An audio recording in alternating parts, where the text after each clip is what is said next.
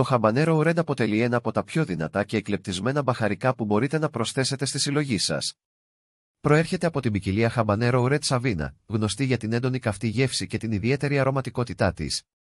Οι κόκκι του χαμπανέρο έχουν έντονο κόκκινο χρώμα και έντονη θερμαντική δύναμη, κάνοντας το ιδανικό για χρήση σε πιάτα που απαιτούν μια πικάντικη πινελιά. Η γεύση του είναι έντονη, με έντονες νότες φρούτων και ελαφριές αποχρώσεις γλυκού, που το καθιστούν κατάλληλο για ποικίλες συνταγές. Η χαμπανέρο προσφέρει μια πλούσια γευστική εμπειρία που ικανοποιεί ακόμα και τους πιο απαιτητικούς γευστικά. Μπορεί να χρησιμοποιηθεί σε σάλτσες, μαρινάδες, στο μαγείρεμα και σε κρέατα για να προσθέσει ένταση και πλούσια γεύση στα πιάτα σας.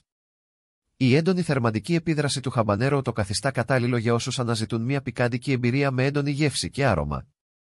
Μπορεί να προσθεθεί σε φαγητά όπως τσίλι, καρικεύματα, σάλτσες τάκος και πιάτα μεξικάνικης κουζίνας για να προσδώσει ένα ιδιαίτερο άρωμα και γεύση.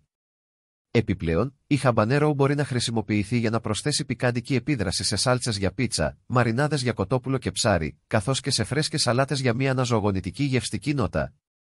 Συνολικά, το Habanero Red Savina Chili είναι ένα πολύπλευρο και εκλεκτικό μπαχαρικό που μπορεί να προσθέσει ένταση, γεύση και άρωμα σε κάθε μαγειρική σας δημιουργία.